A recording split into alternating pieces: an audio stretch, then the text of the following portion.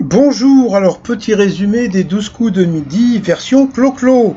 Alors bien, le maître de midi euh, était toujours euh, maître de midi, donc euh, voilà, donc il était très content puisque bon bah aujourd'hui il devait donc il se devait surtout de battre le record du prisonnier. Et ce qui m'a fait beaucoup rire, c'est Jean-Luc Reichmann qui, qui lui a dit qu'il faisait beaucoup de dons de soi voilà. Bon voilà, parce que bon, comme vous savez, je lui reproche de depuis qu'il est maître de midi de ne pas avoir fait de don. Donc euh, comme euh, comme il sait, donc euh, bientôt il y a il y a une don, il va pouvoir faire un don du sang donc à Quimperlé. Je crois que c'est le le 18 juin. Donc voilà, bon passons. Allez, sinon au coup d'envoi une question hyper dure. Que sent le légionnaire dans la chanson d'Edith Piaf? Bah il sent pas les pieds, mais il sent le sable chaud. Après, bah comme en ce moment, les 12 coups de midi, c'est l'antichambre de la pub de TF1, puisque bon, bah, l'autre jour, on a eu droit à Linda Hardy qui, est venue faire la pub de Demain nous appartient. Et bien là, c'est euh, Nikos qui est venu faire la pub de, The Voice. Donc bon, bah, comme j'ai pas regardé depuis le début, je vais pas regarder ce soir. Donc, euh, mais bon, bah, coucou quand même à Nikos. Donc Jean-Luc Reichmann euh, l'avait bien rappelé sur sur Twitter. Après, vous aviez le très sympathique Davy. Alors pour Davy. Selon les chercheurs en neuroéconomie, quelle hormone serait à l'origine de l'instabilité des bourses financières? Eh bien, c'était la testostérone. Et il va bientôt prouver qu'il en a. Ensuite, vous aviez le sympathique Jean, 1m88. D'après le dernier palmarès, quel serait le prénom masculin le plus porté par les bébés nés en 2020 Donc, c'était Gabriel. Après, vous aviez la sympathique Stéphanie, euh, donc était venue, bah, c'était la seule qui, était, qui avait une famille en visio. Donc, euh, bonjour à la famille de Stéphanie. Sa question, fin 2019, par quelle méthode inhabituelle la police néerlandaise a-t-elle tenté de résoudre, de résoudre un meurtre vieux de 30 donc c'était en créant un podcast. Après, pour le maître de midi, une question qui était trop trop trop dure. La particularité remarquable du 2 février 2020 est d'être une année palindrome. Une date palindrome, bien sûr, puisque bon, bah 2, 2, 2, 2, d'un etc. Bon, passons. Après, pour Davy, dans le Sahara, quel animal se déplace tellement vite qu'il franchirait le mur du son s'il avait notre taille? Bah oui, mais s'il avait notre taille, donc c'était la fourmi. Donc euh, sur cette question, le très sympathique Davy est passé au rouge. Qui dit rouge dit duel. Il a eu les testostérones euh, de prendre le maître de midi en duel. Alors je me suis dit, allez, aujourd'hui, ils vont lui mettre une question un petit peu dure quand même. Bon, bah, c'est quand même un jour important. Eh ben non. Eh ben voilà, encore une question de mec avantagé. Donc euh, voilà. Quel métier a rendu célèbre Debussy, Schubert ou Chopin euh, ben, Garçon de chambre, peut-être. Bah oui, ben, la symphonie de, de Debussy ou de Schubert. Hein, donc euh, voilà, donc bon, bah, comme tout le monde le sait, c'était euh, compositeur. Donc euh, voilà, donc c'était un petit peu foutage de gueule, mais bon, c'est pas grave. Ensuite, Eric, Jean et Stéphanie se sont retrouvés coup par coup. Stéphanie d'abord est passée à l'orange, après ça a été Jean qui est passé à l'orange. Donc là, le, truc était assez rigolo, c'est que bon, bah, il y avait des questions de géographie et des questions de musique pour, comme, pour éviter que euh, Eric se, se, plante sur euh, les questions. Donc euh, voilà. En plus, euh, c'était assez, euh, assez vicieux parce que c'est vrai que euh, Kid Creole et The Coconuts de mettre King Creole, donc c'est vrai que c'était pas évident. Donc sur cette question, elle est passée au rouge. Qui dit rouge dit duel. Elle a pris Jean en duel, qui a eu une question là qui était beaucoup plus simple. Quel mot complète la grande pour donner le titre d'un des plus grands succès du cinéma français avec Bourville et De Funès? Donc bien sûr, c'était la grande vadrouille. Donc ensuite, eh bien, Eric et Jean se sont retrouvés en coup fatal. Et puis alors là, donc le crise de rire, Jean-Luc Reichmann qui nous dit Ouh faites attention, vous allez peut-être perdre.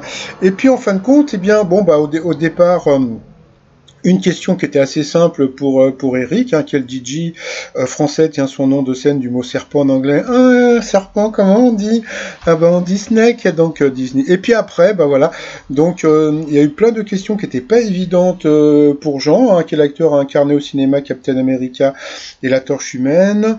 Donc voilà, après, alors là c'était la question, parce que moi ça j'aime bien ce genre de questions, c'est la question qui fait 3 km.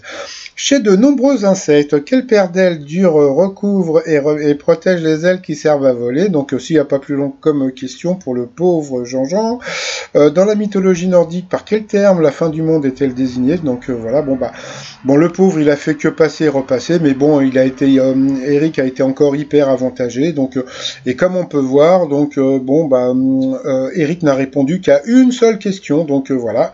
Et comme l'a dit Jean-Luc Reichmann, ça y est, c'est devenu le plus grand maître de midi de tous les temps. Et comme on peut voir derrière la photo, c'est un étang.